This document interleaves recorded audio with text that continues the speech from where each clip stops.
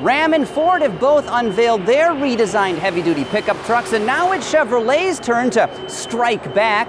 The Bowtie brand just unveiled its brand new Silverado HD, the 2020 model, right here in the factory where it's built in Flint, Michigan. Countering the blow recently landed by the folks in Auburn Hills, when properly equipped, this new rig can tow up to 35,500 pounds, a 52% increase compared to the outgoing model, and most importantly, a skosh more than the new Ram can drag. Longer, wider, and taller than before with a wheelbase that's been stretched by up to 5.2 inches, the new Silverado is stronger and more capable than ever, something that's clearly illustrated when you look at what's underneath that in-your-face body. This right over here is the Silverado 1500's underpinnings, a robust foundation to be sure, but over here, this is the frame and chassis of the new 2020 Silverado HD, and you can tell right away just how much stronger it is. The frame rails are thicker and taller, plus there are many more and heavier duty cross members, plus you can even get up to a 12-inch ring gear in the rear end for long-haul durability. Behind that grille, yeah, it's an, it's an interesting design. Anyway, there's exciting powertrain news to share. A brand new 6.6 liter gasoline V8 is standard for model year 2020. With a cast iron block and pushrod simplicity, it's built for years of trouble-free operation. Direct fuel injection helps this power plant crank out 401 horses and 464 pound-feet of torque. It's matched to a six-speed automatic transmission. The up-level engine is, once again, a 6.6-liter Duramax diesel.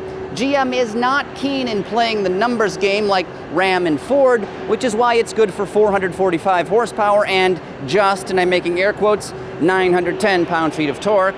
Engineers are confident their truck will perform better than the competition in real-world use, despite not offering four figures of torque. Maximizing capability, the D-Max is paired to a brand new Allison 10-speed automatic gearbox. Standard on every model is Chevy's innovative bed step, and as you can see, it's literally a step on the side of the bed. It supports up to 500 pounds and is roomy enough for a pair of canvas loafers or some steel-toed work boots. And of course, it makes it super easy to hop up and grab any items that you might have stored in the back of the truck. Further simplifying things for heavy-duty truck customers, engineers made numerous small changes to the new Silverado HD. They integrated the engine block heater into the driver's side front bumper under a spring-loaded door, so there's no cord hanging from the grille. They've improved the side view mirrors for easier and safer towing, plus they've made it simpler to fit snowplows than before. Of course, there's tons more to talk about with this new truck, so head over to autoguide.com for much more information. Just hit the link down in that description box for all the juicy details.